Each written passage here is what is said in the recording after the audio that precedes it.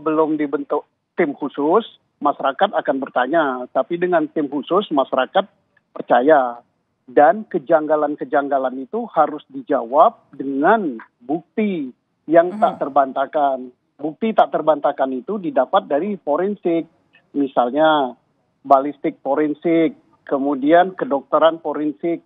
Dan satu lagi catatan saya, dokter yang memeriksa dan yang memberikan otopsi itu harus diperiksa. Nah, bila perlu dinonaktifkan gitu. Hmm. Ya karena dia janggal dan dan visumnya harus dibuka ke publik apa visum yang dibuat oleh sang dokter itu. Oke. Jadi kita so- sorotan kita juga harus ke dokter yang memeriksa itu. Dia meriksa itu di bawah tekanan atau meriksa beneran gitu. Kalau meriksa beneran orang nggak akan ribut ini kena tembak peluru atau kena luka sayat atau kena benda tumpul atau dokter-dokteran yang meriksa. Ya eh, bisa terungkap dan apalagi Kadip Humas Polri Pak Dedi ya sudah mengatakan bahwa forensik dengan uh, bongkar jenazah nanti akan melibatkan pihak independen gitu kan Ya. ya. Apakah dari university, apakah rumah sakit lain, yang penting independen.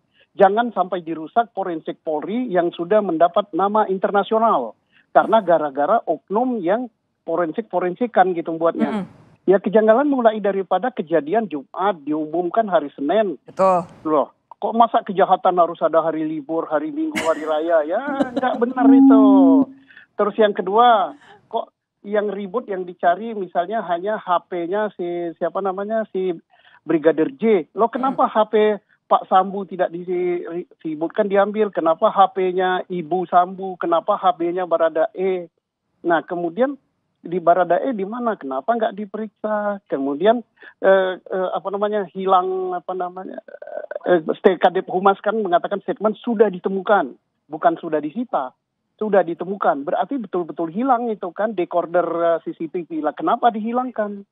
Siapa yang menghilangkan? Kemudian harus dipertanyakan siapa yang datangi Oke. TKP pertama, siapa yang ngolah TKP, sir, siapa bukan, gitu.